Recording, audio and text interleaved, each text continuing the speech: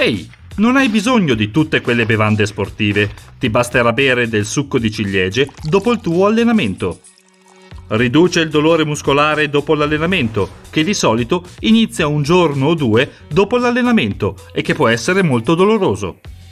Il succo di ciliegia è ricco di minerali, vitamine e antiossidanti. Gli antiossidanti sono degli elementi che proteggono le cellule del corpo dai radicali liberi, cioè le molecole che sottraggono elettroni alle cellule, danneggiandole.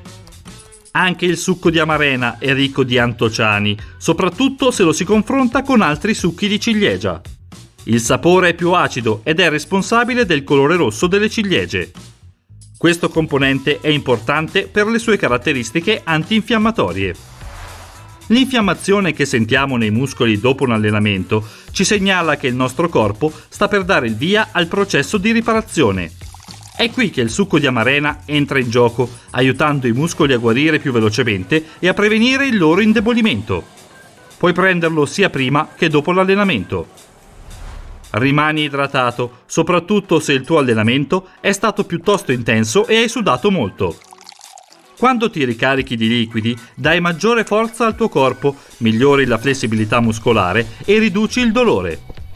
Rimanere idratati aiuta con la crescita e la guarigione dei muscoli. Dopotutto il nostro corpo è composto per il 70% di acqua. Oltre al succo di amarena puoi bere acqua, tè nero e verde, acqua di cocco, latte al cioccolato o delle bevande sportive a basso contenuto di zuccheri. Questo tipo di bevande contiene elettroliti, elementi che rilassano i muscoli. Sembra ovvio, ma sì, la dieta è essenziale. Non saltare i pasti, anche se vuoi perdere peso, perché in questo modo perdi solo tono muscolare. Devi fare l'esatto opposto. Devi mangiare in modo adeguato a sviluppare la muscolatura e accelerare il metabolismo. Alimenti ricchi di proteine sono quelli di cui hai bisogno per costruire e recuperare la muscolatura. Quindi opta per carne, latticini, uova, noci e legumi. Oltre a pasti più abbondanti, scegli degli snack post allenamento che non contengano troppe calorie. La terapia del contrasto è un'altra cosa da fare dopo un allenamento. È un gioco da ragazzi. Per prima cosa fa una doccia piuttosto fredda, poi fanne una calda e ripeti più volte. Delle ricerche hanno dimostrato che questo tipo di terapia allevia i muscoli doloranti e riporta il corpo in carreggiata. Il foam roller è uno strumento automassaggiante. Una ricerca ha dimostrato che gli atleti che hanno usato il foam roller sui muscoli posteriori della coscia dopo aver eseguito diverse serie e ripetizioni avevano meno problemi di indolenzimento muscolare rispetto a quelli che non lo facevano. Stimola il flusso sanguigno nelle aree che massaggi con il rullo, il che alla fine aiuta a portare importanti nutrienti al tessuto muscolare. Puoi anche usare il foam roller prima di un allenamento quando vuoi scaldare un po' i muscoli, ma è un'ottima scelta dopo l'allenamento. Passalo lentamente su quei muscoli che senti più tesi e, se senti dei punti dolenti, tienilo lì per 20-30 secondi prima di passare a un'altra zona. Anche il recupero attivo, ovvero l'esecuzione di allenamenti a bassa intensità in cui non dovrai sudare molto, è un'opzione. Può essere yoga, jogging, passeggiate o nuoto, niente di troppo difficile. Anche se la cosa più ovvia da fare è dare un po' di riposo ai tuoi muscoli, rimanere attivi è altrettanto importante. Mantiene il flusso sanguigno attivo, il che aiuta il corpo a riprendersi dagli esercizi più intensi e allo stesso tempo non metti un forte sforzo sulle articolazioni e sui muscoli. Aiuta i muscoli a rimanere più flessibili, riduce il dolore ed elimina le tossine. Inoltre, se rimani attivo nei tuoi giorni liberi facendo degli esercizi a bassa intensità, ti sentirai molto meglio. Ehi, anche pulire il tuo appartamento è una specie di allenamento a bassa intensità. Quindi metti la tua playlist preferita e datti da fare. Una standing desk contribuirà molto ai tuoi allenamenti. Dal momento che ti alleni, sarebbe meglio non cadere nella pigrizia. Se rimani seduto per molto tempo durante il giorno o al lavoro, allora opta per una scrivania con altezza regolabile per correggere la tua postura. Prova a fare cose divertenti, come una verticale. Io passo, grazie. Certo, inizialmente dovrai farla contro un muro e non sarà perfetta, ma potrai monitorare i tuoi progressi e testare la tua forza e la tua mobilità. Dopo aver finito, fatti una bella doccia e cambiati i vestiti per eliminare tutti i germi. Il nostro corpo ha uno strato protettivo oleoso chiamato sebo. Se combinato con le cellule morte della pelle, può ostruire i follicoli piliferi. Quindi non tenere per troppo a lungo i vestiti sudati con cui ti sei allenato. Preparati bene prima di un allenamento per evitare infortuni e prepara il corpo ad attività fisiche intense. Quando ti riscaldi, concentrati prima sui gruppi muscolari più grandi, come ad esempio i muscoli posteriori della coscia. Inizia con un ritmo basso e lento, aumentando gradualmente la dinamica e andando più veloce mettendoci più forza.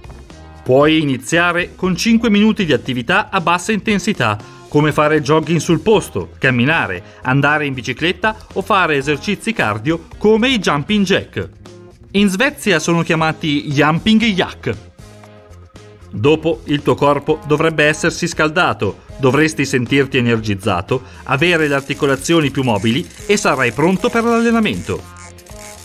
Non dimenticare di fare stretching. Di solito dovresti farlo dopo l'allenamento, non prima, perché il tuo corpo si è già riscaldato motivo per cui vuoi rinfrescarlo. Inoltre i movimenti sono più ampi.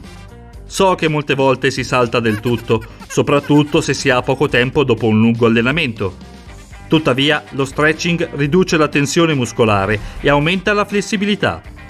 Puoi monitorare la tua flessibilità muovendo le articolazioni in una direzione e vedere fin dove arrivi. E dopo aver fatto stretching in modo regolare per un mese, potrai vedere i tuoi progressi. Inoltre lo stretching prepara i muscoli per la prossima sessione di allenamento, che può essere dopo uno o due giorni. Inizia con 10 minuti di stretching per ogni ora di allenamento e cerca di coinvolgere la maggior parte dei gruppi muscolari che hai utilizzato durante l'allenamento. Allunga ciascun muscolo per 20-30 secondi e se senti che qualcosa non va, fai attenzione e rallenta. Forse stai esagerando. Per allungare i muscoli della coscia posteriore, siediti sul pavimento, allunga la gamba destra davanti a te e mantienila dritta. Piega la gamba sinistra in modo che il piede sinistro tocchi il ginocchio destro. Ora piegati in avanti e cerca di raggiungere le dita dei piedi con la mano destra così da allungare il tendine del ginocchio. Se non ci riesci, tieni lo stinco. Ogni volta che fai questo esercizio, cerca di andare un po' oltre e inclina in avanti tutto il busto, non solo le spalle. Fai lo stesso anche con la gamba sinistra. Per allungare i glutei devi rimanere per terra. Piega la gamba destra e tieni il piede sinistro piatto a terra. Incrocia la gamba destra sopra la coscia sinistra e mantieni questa posizione. Tira entrambe le gambe verso la parte superiore del corpo, mantienile così e, dopo 30 secondi, fa lo stesso dal lato opposto. Per allungare l'inguine, siediti sul pavimento e lascia che le piante dei piedi si tocchino. Tieni le dita dei piedi e piega il busto in avanti, piegandoti ai fianchi. Per allungare la parte bassa della schiena, sdraiati supino, piega le ginocchia e abbraccia gli stinchi. Avvicina lentamente le ginocchia al petto per sentire la parte bassa della schiena che si allunga.